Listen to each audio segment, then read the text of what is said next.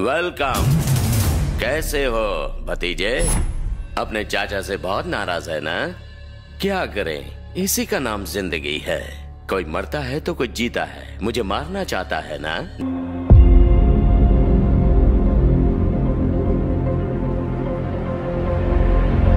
Salaar movie में प्रभास के साथ किस सुपरस्टार को साइन किया गया है? मैं आपका स्वागत करता हूँ बॉलीग्राज के फिल्मी गलियारे में। इन दिनों सरार मूवी खासा सुर्खियाँ बटोर रही है। हाल ही में के जी एफ़ टू के निर्देशक प्रशांत नील ने प्रभास स्टारर अपनी अपकमिंग फ़िल्म की मुहूर्त पूजा हैदराबाद में की के बाद से ही इस फ़िल्म को लेकर काफ़ी बच है। इस फ़िल्म के मुहूर्त में के स्टार यश ने भी धांसू अंदाज में एंट्री कर अपनी मौजूदगी दर्ज कराई थी। अब फ़िल्म को लेकर सामने एक बड़ी खबर आ रही रिपोर्ट्स की माने तो इस फ़िल्म में Master fame star Vijay Sethupathi की एंट्री होने वाली है। फिल्मी गलियारों में इस बात को लेकर काफ़ी तेज़ी से चर्चा चल रही है कि मास्टर के धांसू रिस्पांस के बाद सलार के निर्माताओं ने विजय सेतुपति को अपनी फ़िल्म के लिए अप्रोच किया है। कहा जा रहा है कि विजय सेतुपति को मेकर्स ने नेगेटिव रोल के लिए अप्रोच किया है, जिसमें वो सुपरस्टार प्रभास को सीधा सीधा टक्कर देने वाले हैं। दावा किया जा रहा है कि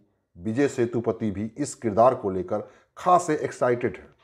और वो इस फ़िल्म के लिए डेट्स भी अलर्ट कर चुके हैं। बता दें कि प्रभास स्टार इस फ़िल्म की शूटिंग सिर्फ़ 45 दिनों में पूरी कर दी जाएगी। फ़िल्म की ज़्यादातर शूटिंग हैदराबाद और बेंगलुरु में होनी। विजय सेतुपति को अपने हिस्से की शूटिंग के लिए महज एक महीने की डेट्स देनी है, जो वो फाइनल कर चुके हैं। हालाँकि अभी इस खबर को लेकर निर्माताओं ने आधिकारिक ऐलान नहीं किया, मगर फिर भी विजय सेतुपति की इस फ़िल्म की एंट्री की खबरें आग की तरह वायरल हो रही। इस फ़िल्म में प्रभास के अपोजिट लीड एक्ट्रेस को लेकर भी अभी तक निर्माताओं ने कोई ऐलान नहीं किया मगर बज है कि सलार के निर्माता अपने इस फ़िल्म में प्रभास के अपोजिट लीड एक्ट्रेस के लिए कैटरीना कैफ के नाम पर विचार कर रहे हैं। इससे पहले इस फ़िल्म में दिशा पाटनी के नाम पर भी चर्चा हो चुकी है, मगर बाद में अदाकारा कैटरीना कैफ का नाम सामने आने लगा। ये एक मल्टी फ़िल्म है, जिसे मेकर्स हिंदी, तमिल और तेलुगु के अलावा कई और भाषाओं में रिलीज़ करेंगे। आज के लिए बस इतना ही। आप हमें कमेंट करके बताइए, क्या ये फ़िल्म 500 करोड़ का बिज़नेस करेगी?